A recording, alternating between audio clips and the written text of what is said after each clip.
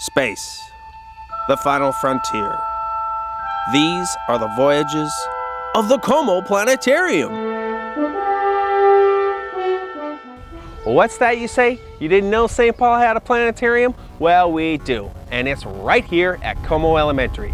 Let's head inside and learn about this little known gem in the Como neighborhood.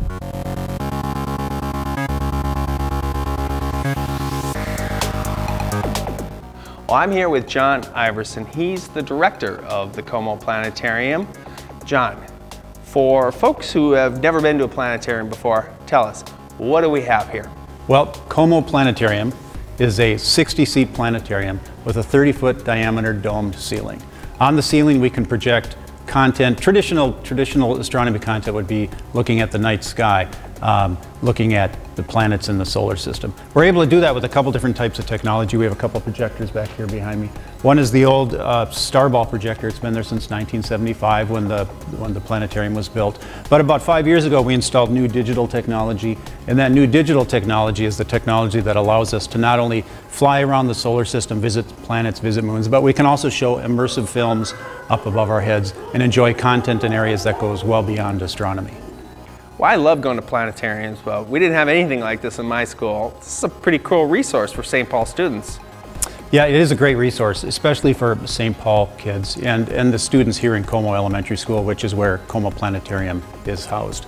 Um, students from across the district visit the planetarium, primarily first, third, fifth and eighth grade students, but we're open to every grade level, anyone who wants to attend. Uh, we focus on things like, you know, why does the moon move across the sky like it does? Why does it appear to change shape? Does it appear to change shape? Does it move across the sky? Same thing with the sun. We look at the path of the sun and we take a tour of the solar system with uh, all, all the grade levels.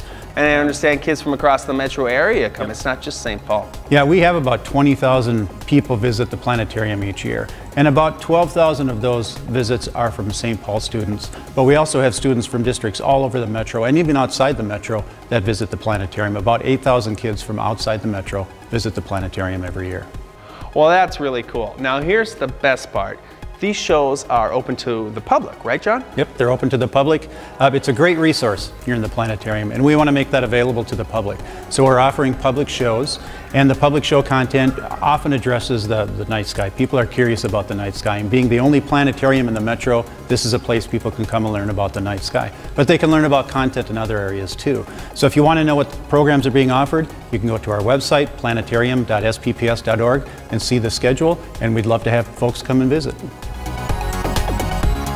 Well, you keep reaching for the stars, and until then, we'll see you at the Como Planetarium. Come on down.